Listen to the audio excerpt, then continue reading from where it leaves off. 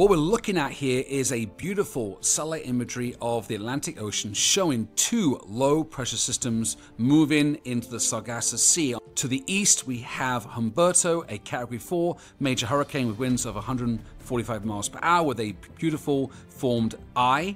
And on the west, over the Bahamas towards Florida, we have newly formed tropical storm Imelda with winds of 40 miles per hour tracking north. Imelda is projected to form into a Category 1 hurricane in the next two days, and Humberto is projected to continue as a Cat 4 up into the higher latitudes. However, there are two important atmospheric conditions to talk about in terms of the direction and path and cone of uncertainty for both these low pressure systems is the high pressure ridge over the northeast, which is going to dictate the direction and push these storms northeast eventually, and also the subpolar and subtropical jet streams. They're in the upper troposphere, about 10,000 meters up in altitude. That will also dictate because it's moving from west to east in a strong 88 to 90 miles per hour. This will basically force these two storms to take a sharp turn to the northeast as it moves up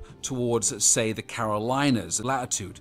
Then we have the interaction between these two storms, the Fujiwhara effect, whereby these two systems are close enough, they're 760 miles apart currently, where they are going to interact and use the moisture, water vapor, and heat energy as a binary system whereby they're going to rotate from a central point in between these two storms as they travel north and northeast towards the east coast. Amazing atmospheric conditions right now in the Atlantic